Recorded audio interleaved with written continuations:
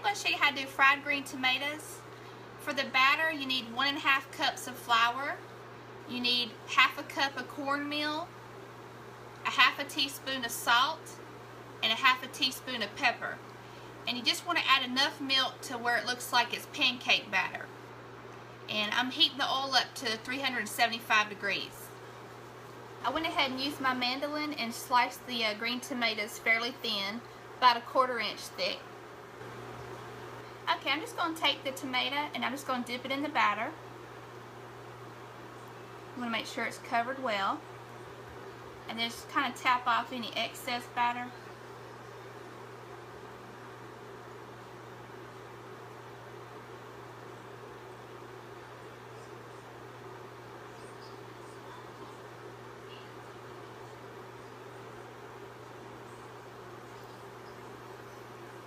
Just want to gently lay it in there.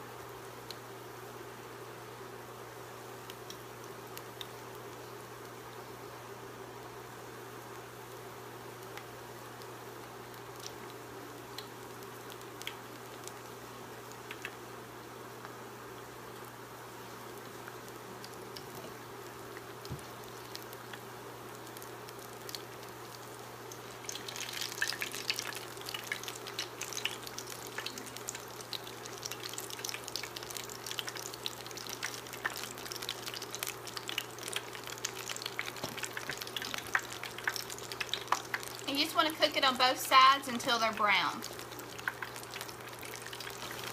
Okay, this is my last batch. You just want to do about four or five at a time. You don't want to crowd your pan.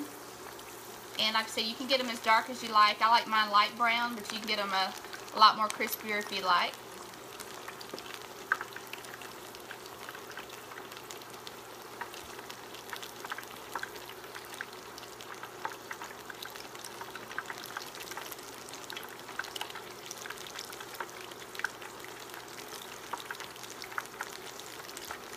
I'm using a metal utensil, but I'm not touching the actual pan itself. You don't want to scratch up your pan. I'm just using it to flip them. Okay, I wanted to show you how I do the dressing. This is the uh, Hidden Valley Ranch. It's the buttermilk recipe. And in the bowl I already have a half a cup of buttermilk. And to that I'm going to add a half a cup of sour cream.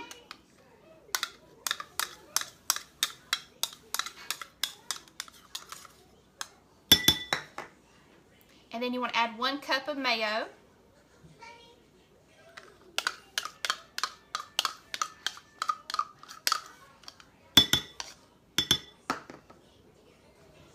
Okay, I'm going to add the packet of the ranch mix. Just want to whisk it a little bit.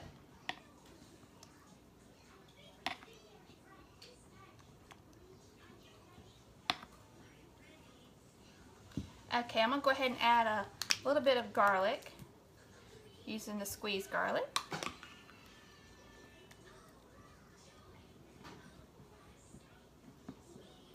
Okay, I'm going to add a few dashes of Worcestershire sauce and also a little splash of white vinegar.